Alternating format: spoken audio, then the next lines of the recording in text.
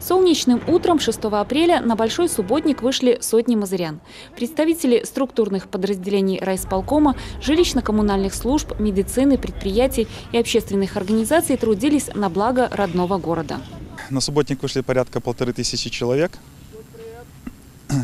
Э, Ведутся сегодня работы по уборке мест общего пользования, по наведению порядка на земле.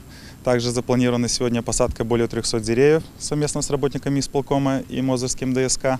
Возле детской больницы силами мозырских строителей и чиновников заложена аллея из кленов.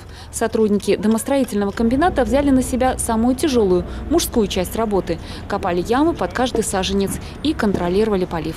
Сегодня, как и все жители города Мозыря, работники Мозырского домостроительного комбината совместно с работниками Мозырского районного исполнительного комитета проводят озеленение территории в районе детской поликлиники.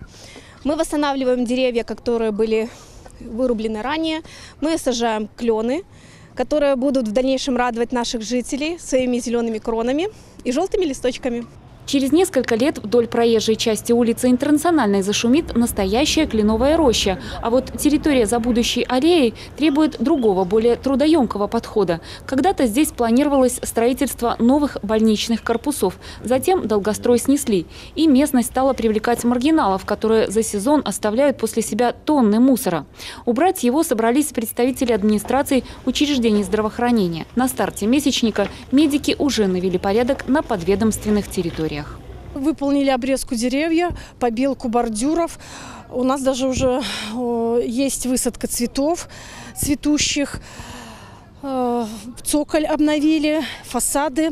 Поэтому на наших территориях, ну, ограждения нашей территории, территории организации здравоохранения уже приведены в должный порядок. И сейчас мы просто оказываем помощь нашему городу. Сегодня мы все с хорошим можно сказать, праздничным настроением, настроены на труд.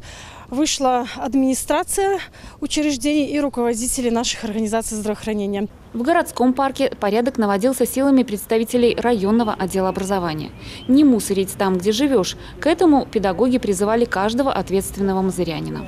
Мы сегодня работаем в парке, и немножечко нам обидно за наших жителей. Такая красота, такая природа, но наши люди не, не умеют пользоваться этими э, местами, потому что кругом разбросаны окурки, бумаги, какие-то э, бутылочки и так далее. Поэтому, конечно, сегодня настроение такое.